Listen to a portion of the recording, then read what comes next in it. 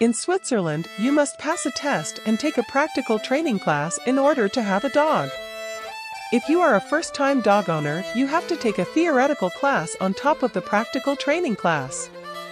Any dog imported into Switzerland must be taken to a vet within 10 days of his or her arrival, and it is mandatory to have dogs microchipped and registered with the Animal Identity Service in Bern.